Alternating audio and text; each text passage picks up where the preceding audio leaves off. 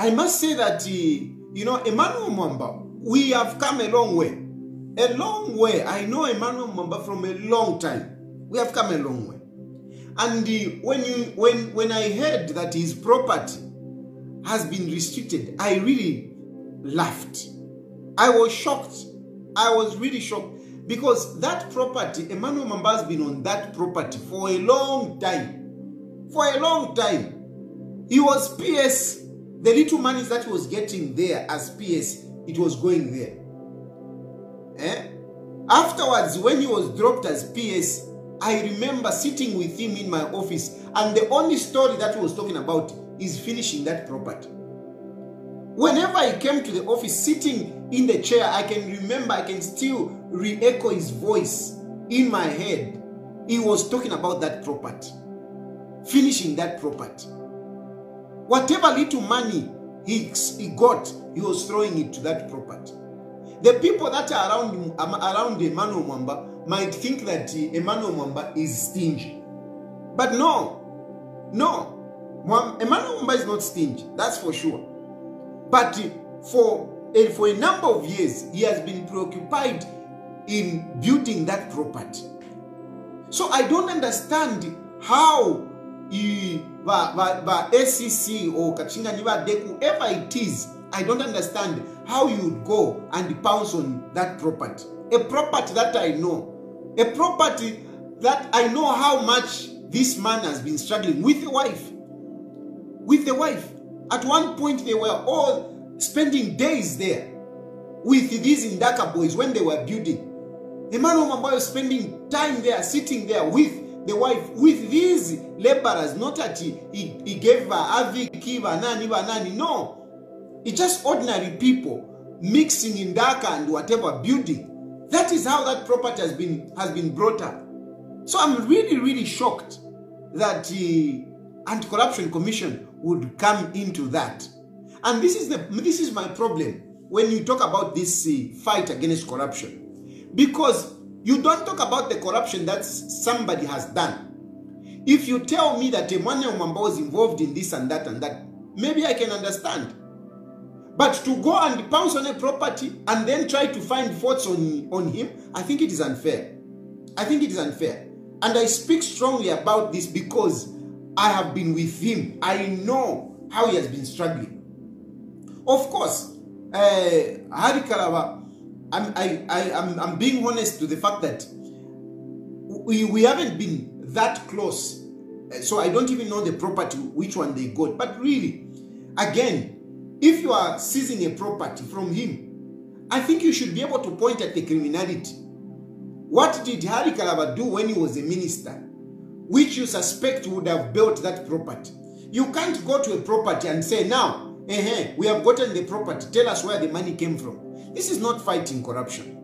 And this is what I've been talking about all along because some people thought that this government means well in terms of fighting corruption. Some people thought that. And they thought, no, for us, we are, we, we are spared. But unfortunately, you don't have to have had committed any criminality. As long as you criticize President Hakainde Hichilema, two things are bound to happen. Those who criticize President Hakainde Hichilema to, to the effect that he feels the weight, he feels the blows of democracy, two things will happen. It's either you are going to be arrested like they have been doing with me. There is nothing that I've done. I'm not a criminal. Uh-uh. I am arrested because of my talking. That's why I'm arrested. Nothing else. Go Kuma court, you won't find anything other than Chilufya Tayali said this, Chilufya Tayali said this. When I'm just expressing my opinion, when I'm just exercising my freedom and speaking for people, speaking for people. That's all I do. But it is on those that I'm arrested. And it is not because I've done some, I've said something wrong. Uh-uh. It is because I've criticized President Hakainde Hichilema. It is because I've criticized his governance. It is because I have called a spade a spade, such as President Hakainde Hichilema is a demo, is, is, is a is a dictator. Like when I say President Edgar Lungu, President Hakainde Hichilema is not fighting corruption. He's vindictive. He's a bitter man. And these are real. These are real. People who are committing crimes in this country, they are not being followed. They are not being followed. But those who are critical of President Hakainde Hichilema, those, they are in trouble. It's either you are arrested, or if you are not arrested, either DEC, Anti-Corruption Commission, or whatever joint, the illegal joint investigating team, that is an illegal whatever. It's either they follow you. It's either your bank account is seized. Your property is seized. These are the things that are happening to President Hichilema. This is the democracy that President Hichilema was talking about when he was in parliament to say he's, he's practicing good governance. No, Hichilema, you are not practicing good governance. You are the worst in terms of good governance. You have you are you you you you have persecuted so many people, so many people in the short time that you have been in power. You have you have unleashed the investigative wings on a number of people. You have punished people like me, whereby you even took me to Lukulu. I mean, I, it's like I'm a police cells Yam Zambia. It's like it's a syllabus. You have taken me far and near just to punish me, just to punish me for telling you the truth. For telling you the truth. It is not about anything, it is about me telling you the truth. And for that, you have punished me. For that, you have punished me. And really, yes, I've paid the price. But I can tell you that I'm not going to relent. I'm not going to relent. I'll keep talking. You can do whatever you want. Even death, I am ready for it. I'll keep talking. I'll keep telling you the truth. And it is because of speaking that Emmanuel Mwamba today has his property restricted. It is because of talking that Harry Kalaba's property has been restricted. It's nothing else. It's nothing else but, but because they have been offering checks and balances. And their checks and balances are very valid. What Emmanuel Mwamba and Harry Kalaba are asking about uh, uh, that uh, Clayson, eh? Clayson at State House, those are real questions which are supposed to be answered. And I'm wondering why cabinet is still quiet. Because I think uh, that Dr. Patrick Kangwa should be able to respond about these situations. He's the custodian of government uh, uh, system. But Patrick Kangwa is a custodian of government systems. And what is happening? How is this Clayson? When was this position created? The position that Clayson uh, uh, Hamasaka is sitting on. When was it created? Emmanuel Mwamba and Harry Kalaba, they have got a right to ask about those choppers and the hiring of, of planes. They have got a right. Why are you going after them? That is cowardice. In my opinion, Hakainde Hichilema and your government, that is cowardice. Instead of facing the reality, instead of facing these people and engaging them on the questions that they are asking, you decide to intimidate them. But that is cowardice. And why do I call it cowardice? I call it cowardice because instead of bringing politics, instead of confronting these people politically, you go and hire the state machinery on them. You go and offload the state machinery on them. That is cowardice. A man worth his salt, he faces his opponent with what he has as a man. Not you go and hire a Wakapokola, you go and hire the, the Anti-Corruption Commission. That is cowardice. Even what you do to me, it's cowardice. It's cowardice. It's cowardice. It's cowardice what you do to me to send me police officers to arrest me, to take me. is cowardice. Because if you are really a man, you take me on. You said, Tayali, you have said this. Now, here is the here are the facts. This is not what this is what what is what is what it is other than what you are saying. not to bring the police officers to intimidate me, to bring police officers to punish me. That is cowardice. Face people and confront them on whatever it is. Not what you are doing, not what you have done to Harry Kalaba, not what you have done to Emmanuel Mwamba, not what you have done to a number of people. Not what you have, not what you are doing. It is not right. And you see, you are doing this. There is corruption in your own government. There is corruption in this government, big time. Even at State House, there there is corruption. People are saying no. Anton Anton Anton Bwalya, eh, he was bribed, and that's why he was fired. But we know that some people at, up at, at State House are collecting money to set up appointments, just like you know the old stories that we used to hear. People are getting paid. People are, are flying around, flying around at State House. Ministers are engaged in different things and so on and so forth. But you are not touching them. You are not touching them.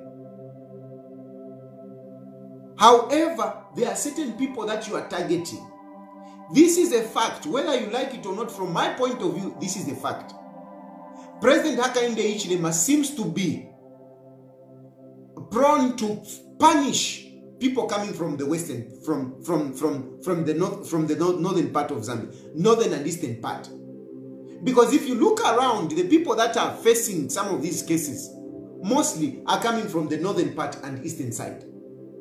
I don't know somebody who is facing some of these charges coming from southern province. I don't know. I don't know. But people coming from this region, this side, President Hakainde Hichilema is very quick to act.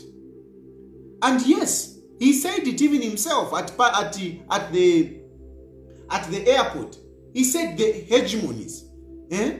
the hegemonies who have been stealing money since independence. From, from my point of view, I think President Hakainde Hichilema just look at us coming from the northern part and eastern part as hegemonies, criminals that don't deserve anything from this country. But Allah Hakainde Hichilema, you've got it wrong. This country belongs to all of us. So you can't come, become president, and start dividing us and start seeing others as less Zambians. You can't. It is not right. And we won't keep quiet in fear of being accused that no, we are going to be to be labeled that we are tribalists. No, I mean I'm not a tribalist. I'm talking about what is happening. I'm talking what, about what is happening. You have filled up all important positions of this country with people coming from one region. And you are very quick to act on people like Avena Mwamba, Avena Harry Kalaba. You are people to act on people like those people in um, in in um, in Luapula. You are very quick. In Luapula, you have fired those uh, those uh, uh, DCs and the the deputy permanent secretary. You have been very quick to fire them. But we have brought out cases. We have brought out cases before you, and we have asked you to take action on people like like Sylvia Masebo and this foreign affairs minister, as well as some people in State House. Jito has issues. Jito has issues. Jito has issues. Jito, you know what I'm talking about. Jito, you know what I'm talking about. Jito, you know what, you're what I'm talking about. Your friends in State House are talking. Don't think you are clever. Don't think you are the best. People are watching what you are doing. People are watching what you are doing. And I'm told some of the things that you have done, Jito, they are before the president, but the president has not acted. But he was very quick to act on Anton Ward. Why is he not acting on Jito? There is a karuma. I want to insist there is a karuma that I've gotten. I don't have the facts, but there is a rumor that I've gotten that Jito got $50,000 from some people to set up an appointment. And it is being discussed in the State House corridors. And Jito, don't pretend that you are hearing this from, for the first time. I'm sure, Jito, you have heard about this 50,000 kwacha, which is alleged that you got from some people. This, I'm, I'm telling you, it's not coming. Ishwambaku State House. It's coming from your friends, Mu State House, who feel that you are going over the bar. You are going beyond the limit. You are becoming a monster in State House. You are becoming a monster in State House. And people are not happy. And some of them, they have actually told me that the president knows about some of these things. But why hasn't the president acted? Why was he quick to act on Anthony Bwalya? Why was he quick? Going further, this issue of Luapula that you are talking about, you have actually implicated, you have been very quick to implicate the vice president. I have been researching on the Luapula issue of the Swigilite. Eh, Swigilite. I've been investigating, I've been trying to find out where is the name of Mutale Lumango coming in. I haven't seen it. But within the UPND circles and government, you are busy trying to bring in the vice president. I don't know unless otherwise somebody tells me. But from what I've from from what I've been sniffing, the name of the vice president has not come in. It has not come in. But why are you trying to implicate the vice president? From my point of view, it is by the fact that she's coming from a region where you think that all of us we are criminals. Vamaiwa Nalumango, she has got her own issues. I'm telling you, she has got her own issues, and I've, I've expressed myself here. But I think it is very unfair to be dragging her in some of these cases just because you don't want her. We know that you don't want Vamaiwa Nalumango. But you have to remember that it is constitutional. She's there on a constitutional basis because she's a running mate. And you are with her until 2026. In 2026, if you want, that's when you can bring another person to be the running mate to Aka in the HDM. To which you are not going to do anything because 2026 Muleya, you are not going anywhere. So just relax and enjoy the ride. Mutale Nalumango is not going anywhere. And I'm not defending her. No, she's not my friend. She's not my relative.